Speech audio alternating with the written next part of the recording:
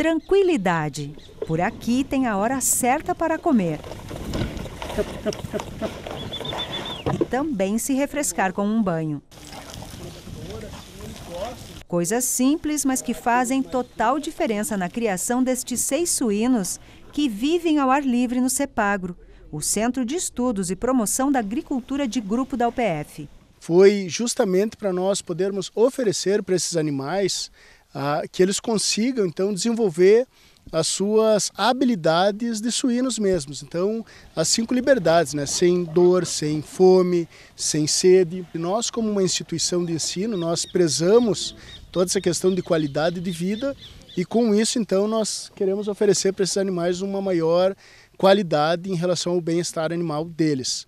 São duas raças de suínos, a moura e a casco de mula.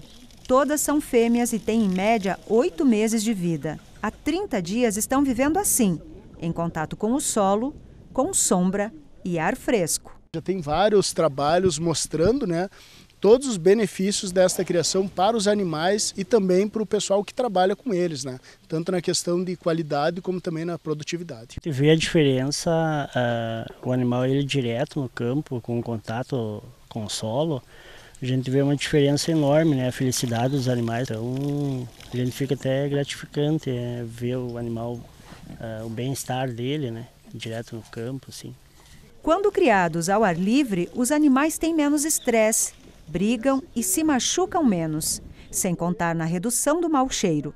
Os custos também são menores quando comparados à criação em locais fechados. A ideia é que os filhotes, ao nascerem, sejam criados da mesma forma. Esses animais, eles nunca tinham sido soltos, soltos anteriormente.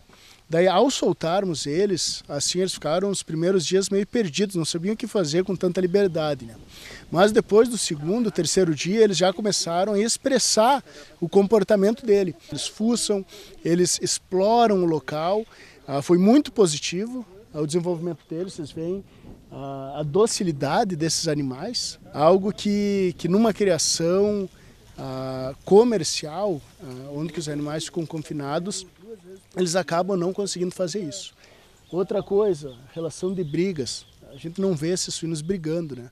Eles têm outras coisas que entretêm eles, né? Todo que eles chamam do enriquecimento ambiental, é que eles têm um ambiente livre, então, para eles poderem a, ah, desenvolver essas atividades e, e expressar o comportamento deles.